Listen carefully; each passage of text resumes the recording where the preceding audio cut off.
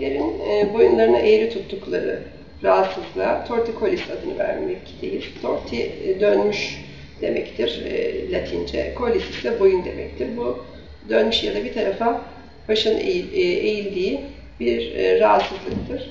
Bebeklerde özellikle anne karnında duruş hatasına bağlı olarak bazen zor doğumda, doğum kanalı çıkışında bebeğin boynunun uzatılması sonucunda o kasın aşırı gelmesine bağlı küçük bir kanama oluşabilmekte. Bu da tortikoise neden olmaktadır. Ee, özellikle ikiz ya da üçüz doğumlarda, e, üçüz doğan bebeklerde tortikoise daha sık rastlanmaktadır. Bazen annenin rahminde yapısal bir e, bozukluk ya da yapısal bir şekil farklılığı olabilmekte. Bu da bebeğin anne karnında hep aynı şekilde durmasına neden olmaktadır.